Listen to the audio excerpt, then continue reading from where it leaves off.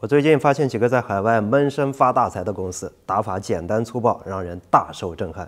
看完只想说一句：这也行。前几天不是爆出来游戏《原神》全球总收入超过四十亿美金嘛，简直是赚麻了。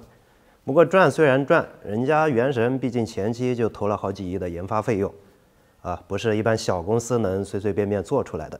连腾讯现在都后悔的直拍大腿啊，大意是忽悠啊。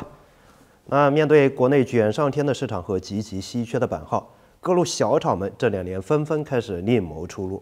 谋着谋着，游戏圈内就流出这样一个传说：说几个哥们儿跑到中东给沙特王室开发了一款游戏，成本不到四百万，但是每个月的流水超过了四千万，游戏活跃玩家数量高达十二个人之多。刚刚听到这个故事时，我是轻蔑一笑，心想这不就是前几年朋友圈微商经常用的套路吗？啊，天天发什么恭喜王总喜提玛莎拉蒂，这也能信？听完我转头啊就去了解了一下，绝对不是想发财啊！这一了解，好家伙，现实比传说更传奇。这两年确实有不少国内游戏公司跑去中东闷声发大财。最早吃螃蟹的是一家叫网龙的公司，这家上古游戏公司上一个爆款游戏还是零三年的《征服》。网龙一琢磨，既然国内玩家曾经那么喜欢玩，那是不是也可以割一波国，不是雨露均沾一下国外玩家呢？尤其是被欧美厂商遗忘的阿拉伯人民啊！欧美大厂不管出的什么游戏，主角都是欧美人，这怎么玩？阿拉伯地区的人民一点代入感都没有啊！于是网龙给征服换了个皮，推出了阿拉伯版的征服，融入了大量阿拉伯历史和文化，什么肚皮舞啊、炼金术啊、斋月啊，通通给整上。游戏里女性都是犹抱面纱半遮面，没有游戏前那些中东土豪们平时的娱乐活动就是玩玩狮子啊，熬鹰，朴实无华且枯燥。当他们玩到中国厂商开发的游戏后，立马就上头了。他们哪见过这么新颖的套路，不是新颖的玩法呀？这些游戏的核心玩法就一个，只要你充够钱，你就能变得更强。哎，中东的石油王子说：“巧了，我最不缺的就是钱。”所以玩的根本停不下来，天天跪着唱征服啊！就这样被你征服，喝光了所有石油。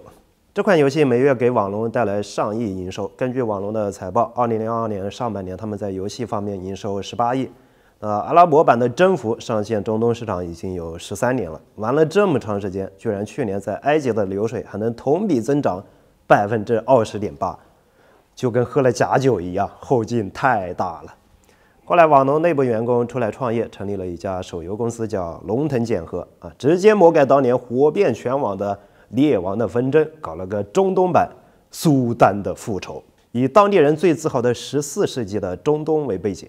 那时候的伊斯兰文明，前脚群殴十字军，后脚攻下君士坦丁堡，随时准备打入欧洲，在当地人心中就和我们的三国一个地位啊，是兄弟就来和我一起光复奥斯曼帝国的荣光。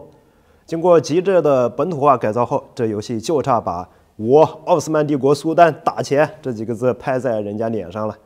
游戏上线后，迅速包揽中东地区各国的畅销榜第一，甚至在全球阿拉伯裔玩家的支持下，一度冲击美国畅销榜 TOP 二十，实现了阿拉伯人对西方的历史性反攻啊！并且连续七年稳坐排行榜前五，每月营收超过六百万美元。美元啊，这些都是白花花的外汇。二零二一年，中国自主研发游戏的海外市场销售收入达到一百八十亿美元。这些外汇可以让我们进口多少技术设备啊，引进多少科技人才。所以啊，虽然国家不鼓励游戏公司在国内卷，哎，但是出海卷还是很鼓励的。